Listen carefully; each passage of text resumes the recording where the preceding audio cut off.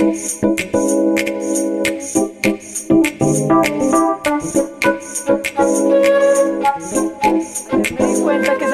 que nos admiramos, pero en serio lo estaba admirando. O sea, me vi con unas amigas, me encontré con ellas y yo, ay, qué tapabocas tan bonito. ¿De dónde es ese? Nos ha cambiado mucho la vida. Bueno, seguimos hablando con Sara de hoy en las tres gracias acerca de cómo sacarle provecho a las redes sociales para emprendimientos, pero que no necesariamente tengan que ser digitales, pero que sí lleven sus negocios también como al área digital. Y habíamos hablado de eso que los, los que saben de mercadeo y eso llaman el avatar. Qué bueno que nos cuenten cómo a partir de eso, primero qué es, y luego cómo a partir de eso puedo hacer una forma de comunicación con el público que me sigue. Listo. Olguita o Olga. Como tú quieras. Olguita, entonces. Sí. eh, ve, Olguita y televidentes. Yo creo que es muy importante entender que las reglas existen para romperse. Eh, una regla es porque solamente alguien ha llegado hasta ahí. Entonces tú ves esa evolución, tú lo decías ahorita, antes había un benchmark o una, un público objetivo y se decidió un avatar que ya no es un público gigante, sino nichificar, ¿cierto? Llegar a nichos. Yo creo que esa es la regla que hay hoy, pero no quiere decir que es la única regla, ¿cierto? Antes la gente creía que la Tierra era redonda, ve, plana, plana, y ahora creen que es redonda y es plana. y ahora, y ahora creen que, pues ahora se sabe que es redonda, pues lo dicen, ¿cierto? Entonces yo creo que lo más importante no es mapear audiencias, sino mapear necesidades. Te voy a poner el ejemplo conmigo. Sara B le habla a una persona que necesita contar mejor su marca y no sabe cómo. ¿Cuántos años tiene? No sé. ¿Estudió la universidad o no la estudió? No sé.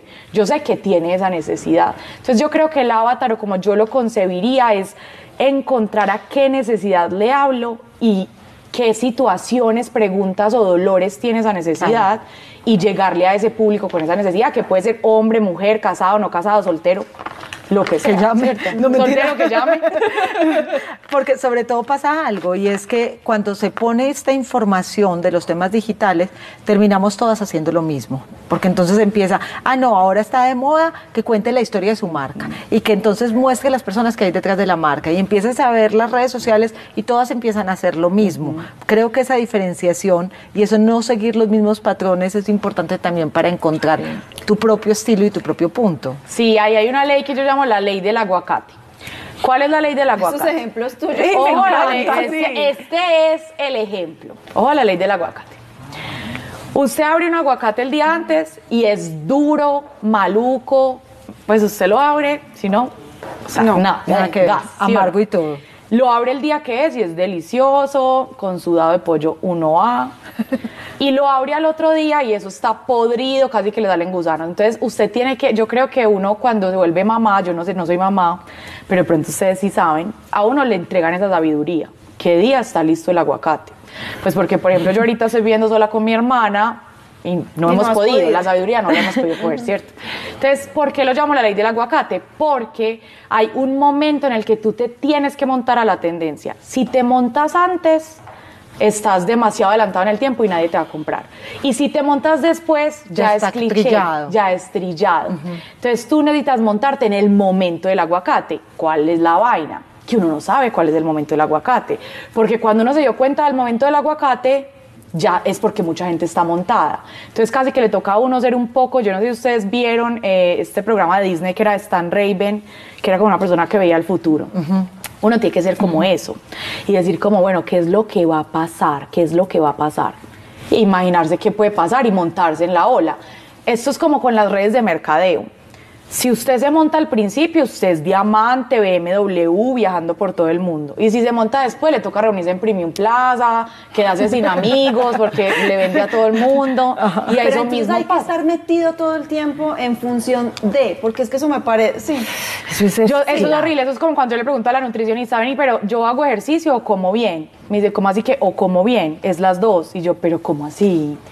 O sea, me toca hacer ejercicio y comer bien y tomar agua y dormirme a la hora que es, pues entonces es imposible. es un trabajo de alguna y manera. Y esto es lo mismo. Esclavizante. Exacto, esclavizante. Usted cree yo 25 años, ojerosa, canosa, agachada, yo ya, o sea, calva, el, el, calva. No, el viernes, horrible. El viernes yo me quedé, mejor dicho, impactada y todavía no salgo del impactada con una cifra que nos dio un invitado que hablábamos precisamente de redes sociales y nos decía de un youtuber o instagramer. Él Ay, es un, sí, es- es un instagramer colombiano. Sí, que-. El ¿cómo se youtuber, llama? pero tam- se llama Ami Rodríguez. Sí, gana. que factura 900 millones al mes.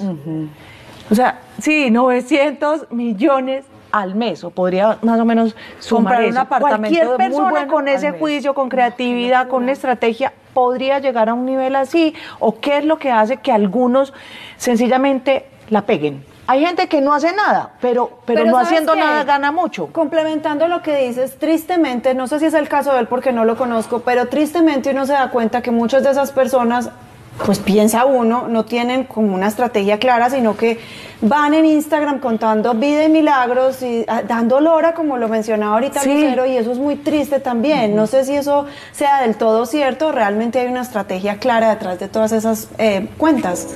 Pues bueno, hay un verdadero secreto. Comprar el libro. Mentiras. Seriamente. Llámame. Seriamente. Me tenías aquí.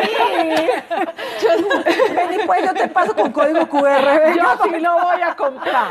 No solo lo voy a comprar, es más, lo voy a leer. No, miren, la realidad es que uno tiene dos factores, trabajo y suerte.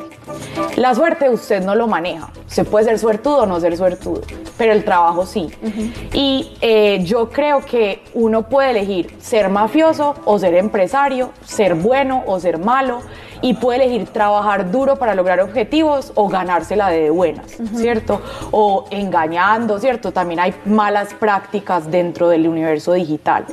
Creo que como tú no tienes, eh, digamos, poder, control sobre la suerte, no puedes sentarte a esperar que la suerte aparezca. Te toca trabajar. Pero ¿qué pasa? Y ahí voy a lo que tú me decías. Yo creo que vivimos lastimosamente en una sociedad que ama el chisme.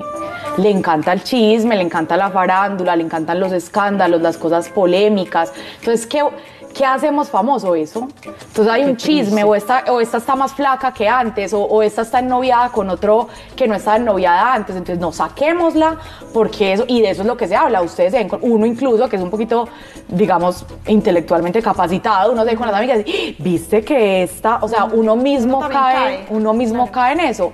Pero yo creo que acá hay una cosa muy importante decirle a los televidentes y es que el poder está en ustedes. ¿Quién vuelve famosa a la gente? La otra gente. Entonces, si yo todo el tiempo hablo de, la- de los chismes, de las groserías, de la farándula, de nada de valor, pues esa es la conciencia social que estamos O creando. sigo las putifiestas Es- solo para criticarlas, le estoy Exacto. dando publicidad, le estoy dando visibilidad. Exacto.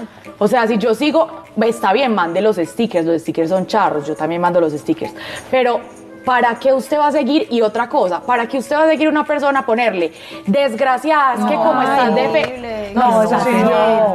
Sara, ¿cómo estás a propósito en redes sociales y tu libro, por favor? Listo. Mi Instagram es arroba sarabetancourt Ah, listo, ya te sigo. y Sí. mi libro es arroba compra este libro. ¿Y, y cómo compramos el libro? ¿En Instagram? El libro lo pueden comprar por Instagram. De hecho, voy a decir una cosa secreta, pues no tan secreta porque lo voy a decir en televisión. Ya no es secreta. Ya va a dejar de ser. Pero eh, en este momento encontramos hace poquito una caja con 100 libros más. Está agotado en la página web.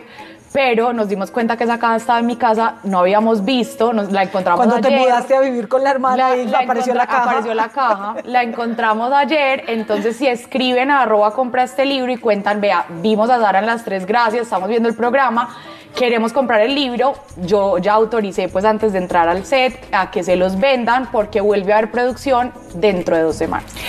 ¿Nos puedes guardar tres, Tres, cuatro? Claro, también se los guardo y se Cuatro los. Ay, no, hermoso. Cuatro Sara, lo máximo el descubrimiento de tenerte en el programa. Ojalá te haya gustado tanto como nosotros y poda- podamos repetir este encuentro y contar contigo más a menudo. Muchas Claro gracias. que sí, lo que necesiten. Súper chévere. ¿Sabes qué me encanta? Que hagamos una sección dirigida a emprendedores que están comenzando. A Eh, todos esos encanta. televidentes que nos hablan tanto de sus emprendimientos y que están empezando en este negocio, para darles una claridad. Vea, primero abre la cuenta, la debe abrir así, debe hacer tal cosa. Vamos Sí, a es que ayudarles. Eso, es- eso es otro mundo, eso es otra cosa completamente distinta. Entonces, qué rico ese paso a paso. Gracias, Sara. Con mucho gusto, gracias, Gracias, a. Cuando Jorge, nuestro coordinador, hace así, nos dice, niñas, pausa, pausa, que hay más invitados. No se muevan, que ya volvemos.